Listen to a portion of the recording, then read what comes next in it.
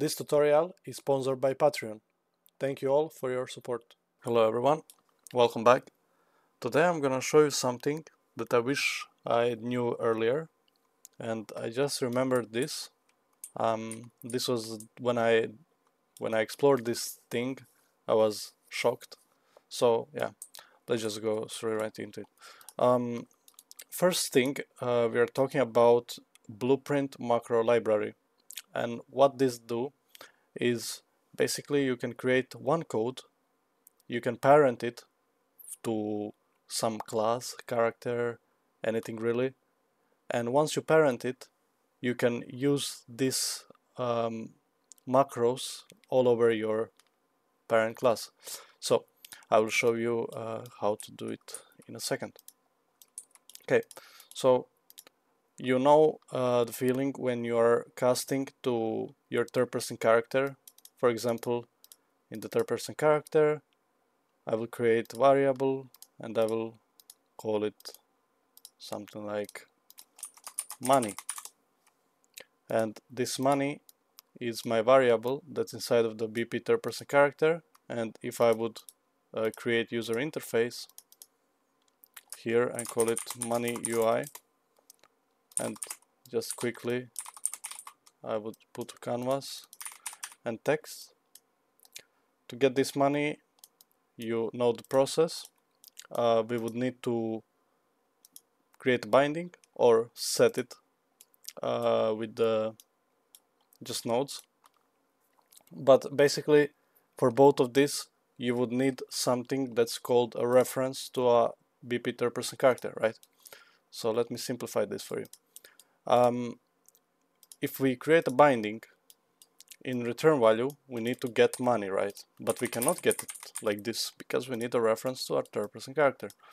So what you would uh, do if you don't know about the macros you would cast to the third person character all over again every um, user widget that you have right? But you don't have to do that. So the process would go like this. Cast a uh, third person character you would get player character. If the cast failed, you would delay it until next tick, so you ignore the error. Get like this, and you would promote this to a character reference. And from here you would get money, right? But this is this works, but it's not really effective. So I'm gonna show you how to do it easier way. You can go to your blueprints and right click blueprint and blueprint macro library. And now you can select the parent class. You select where you want to have your macros.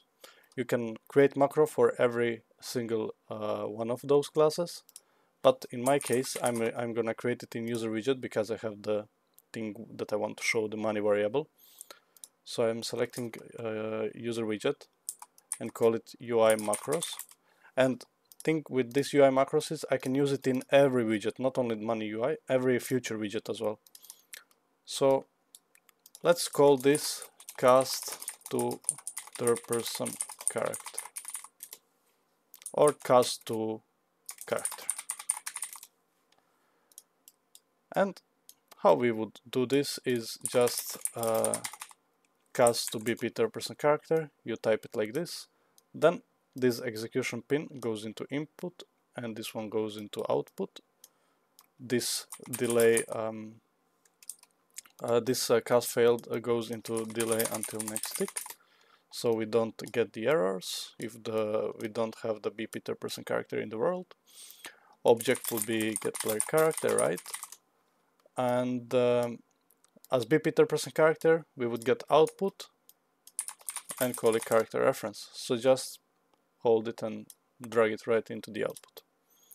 So right now we created new macro. So instead of doing this boring stuff all over again, what I can do is just type cast to character. And when you see the letter M, that's your macro, press it. And now you have the character reference and you can get money from it. And it would work but you can also promote it to variable like this, like you would usually do, with one click. And now if we go to get text, I can get this character reference, get money. And as you can see now if I add it to my viewport real quick I'm just gonna create a widget for it. Compile play. Um, I have zero money right now so let me get simple one key to add some money real quick. This is just showing you that it works. So as you can see the reference works and the number is displaying properly. So these UI macros are gonna save you tons tons of time. I cannot stress it enough how much time this little node is gonna save you because not only cast to character you can create cast to game mode as well. You can create multiple of the macros. You can uh, create whatever you really like here and you can use it over your parent class. So I hope I made your life easier with this uh, because when I discovered this I was really uh, hyped about it because this is insane how much time you can save. So that's it for this episode. See you in the next video. Bye